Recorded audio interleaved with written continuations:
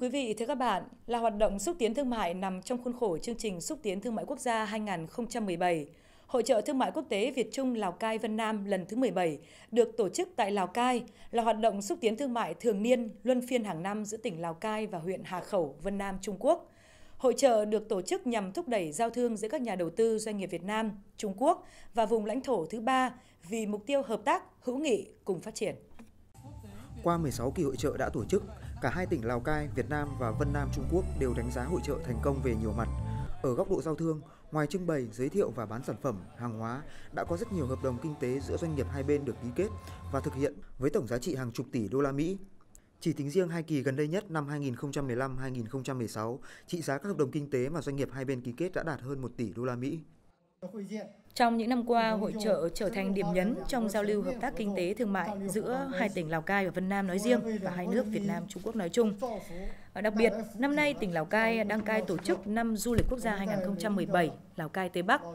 Hội trợ năm nay có sự tham gia của các gian hàng du lịch của tỉnh Vân Nam Trung Quốc, các tỉnh trong khu vực, hợp tác 8 tỉnh Tây Bắc mở rộng Việt Nam và các gian hàng đến từ quốc gia,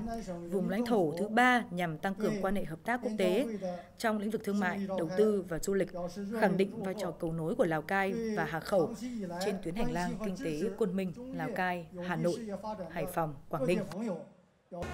Hội trợ năm nay có quy mô 800 gian hàng của hơn 300 doanh nghiệp Việt Nam, Trung Quốc và quốc tế tham gia giới thiệu, trưng bày và bán các sản phẩm như nông, lâm, thủy hải sản, dược liệu, máy móc, thiết bị, nguyên vật liệu, hóa chất, điện tử, điện lạnh, đồ điện gia dụng, dụng cụ gia đình, hàng tiêu dùng.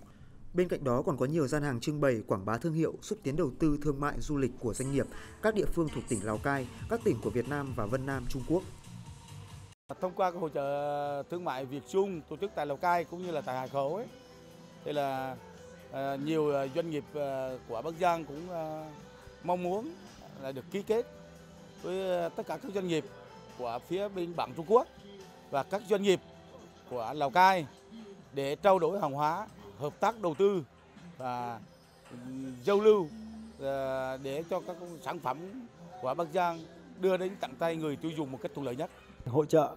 à, thương mại quốc tế của Lào Cai tổ chức vì là giới thiệu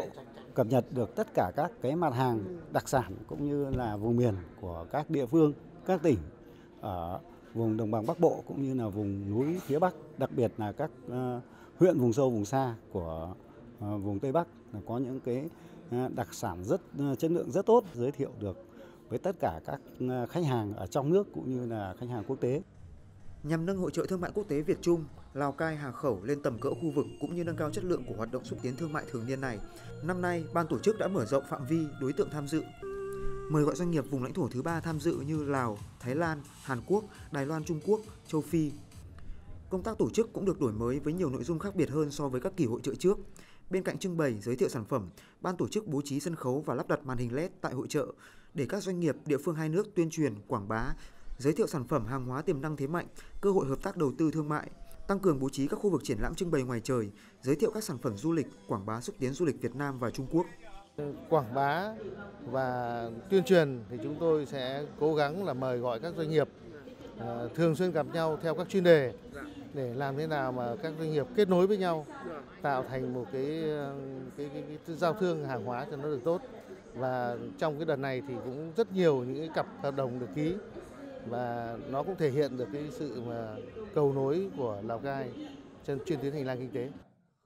Trong khuôn khổ hội trợ, tỉnh Lào Cai và tỉnh Vân Nam đã tổ chức hội đàm hợp tác kinh tế thương mại Lào Cai, Vân Nam và hội nghị giao thương doanh nghiệp Việt Trung để đánh giá tình hình kinh tế thương mại giữa hai địa phương và trao đổi phương hướng hợp tác tiếp theo.